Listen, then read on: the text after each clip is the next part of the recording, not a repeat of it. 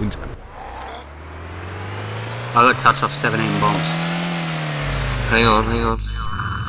Oh, jeez. Whoa! Oh, Holy crap!